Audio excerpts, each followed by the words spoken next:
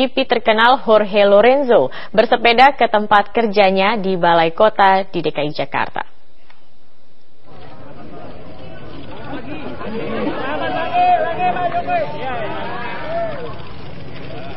Buenos Dias. Jorge Lorenzo kembali datang ke Indonesia, namun kali ini dia menemani Gubernur DKI Jakarta Joko Widodo untuk bertugas ke Balai Kota Jakarta. Keduanya bersama-sama bersepeda bersama juga dengan rombongan berangkat dari rumah dinas Jokowi menuju ke Balai Kota. Meski sempat tertunda karena hujan, mereka tetap melanjutkan perjalanan hingga tiba di tempat tujuan.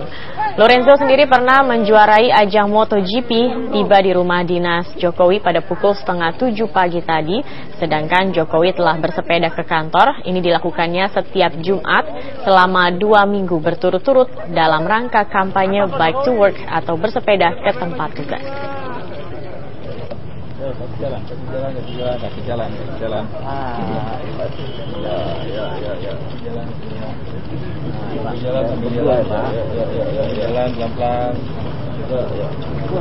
Yang di, hanya teriak-teriak Lorenzo, Rossi, Lorenzo, Rossi, sudah lupa sama Jokowi.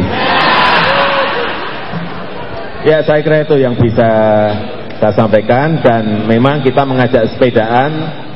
Sebetul, uh, sebetulnya memang karena kita setiap Jumat uh, sepedaan, baik to work dan kita ingin meng